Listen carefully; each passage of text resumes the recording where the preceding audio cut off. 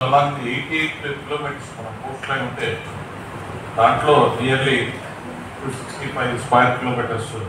Bengaluru ఉంది మనకి.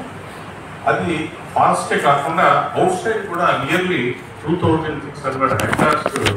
మనకు అవుట్ సైడ్ అయ్యింది యాక్చువల్గా దాని area was recorded as panchayat forest in revenue forest as per the recent guidelines and supreme court orders ఏంటంటే whatever area is recorded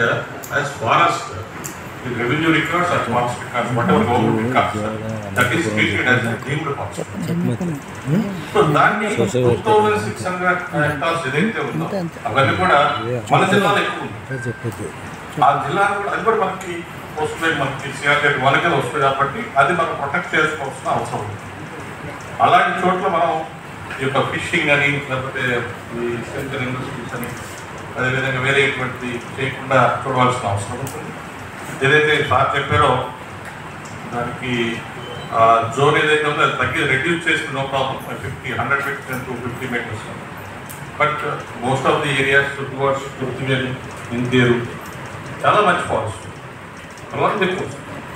CRZ one total but outside వాటిని కూడా మనం రిట్రీవ్ చేసుకొని nearly two thousand six hundred hectares దాన్ని మనము forest కింద treat చేయాల్సినటువంటి అవసరం ఉందని చెప్పి ఈ సందర్భంగా జాయింట్ కలెక్టర్ గారు తెలియజేస్తున్నాను ఇంకా other way there is many problem but another thing is if win ఈ ఫోర్ టువర్డ్స్ ఏంటంటే మన పల్లెతుమలపాలెం పల్లెతుమలపాలెం కూడా కొంత ఏరియా ఉంది.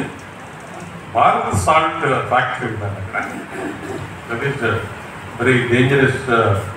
climate change కనపరుస్తుంది అక్కడ. దాన్ని మనం ఇమీడియట్గా వైడప్ చేయాల్సి ఇకలాజికల్ సెన్సిటివ్ ఏరియాలో middle of the forest adjoining to the sea coast